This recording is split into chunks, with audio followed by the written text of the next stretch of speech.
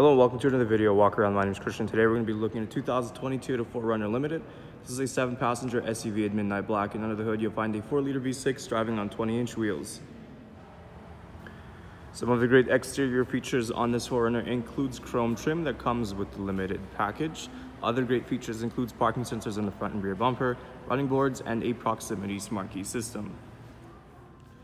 Helping us inside is our key fob here. It's got our lock and unlock button. Now, like I mentioned, this 4Runner does have a proximity smart key system. So if you have your key fob in your pocket, we can press these two lines on the door handle to lock the vehicle. And to unlock it, it's as easy as putting your hand inside the door handle here. Now if we open up, right up top, you have your power windows and locks. You have your memory seating preset buttons right in the center. You have some storage space in the middle of the door as well as on the bottom. Now this 4Runner comes equipped with black leather seating. On the bottom, you'll find your power seating adjustment buttons. And on the top, you also have a power moonroof. We're gonna start this 4Runner up. Just push the brake in and press that engine start button right behind the steering wheel there. As always, we're gonna take a look at the steering wheel features first. On the left side, you have your audio options as well as your hands-free calling and your voice recognition system. On the right side, you have this cluster here, which allows you to cycle through your multi-information display. Down below that, you have your Toyota Safety Sense with dynamic radar cruise control and lane departure alert.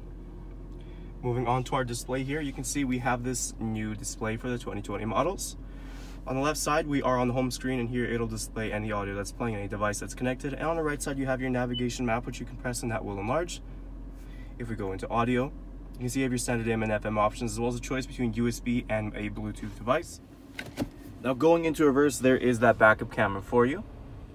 Down below that is our climate control system. It is a dual zone, so the temperatures can be adjusted on both sides. There we go. Down below that, you'll also find your USB 12 volt outlet and your driver and passenger heated and ventilated seats. Now inside the back here, we have some storage on the bottom, just like the driver's side door. And of course, we are continuing with the black leather seating. Move a little closer inside behind the front passenger and driver seats. You have these little nets for some extra storage. Now the rear seats do fold down. We got a little handle right in the corner here. Just give that a push or a pull and that seats and the seats will fold down giving you access to your third row seating as well as your cargo. As to access the cargo from the outside there is a button here right under that 4Runner emblem there. Gonna open that up. The rear seats do the third row seating does fold down. We got these little handles up top that'll put the headrest down. And you just proceed by pushing these little handles in the corner and the third row seats fold right down giving you that storage space. The second row seating does fold down as well.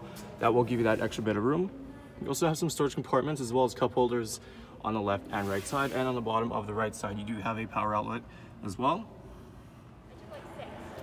Taking a last look at our Toyota 4Runner, once again, some of those great interior features includes your driver and passenger heated seats, power moonroof, and navigation. There's still a lot more I didn't get a chance to show you, so why don't you come on down and take it for a test drive. We're located here at Toyota Northwest Edmonton on the corner of 137th Ave and St. Albert Trail. Thank you for watching this video walk around. My name is Christian, and as always, drive safe.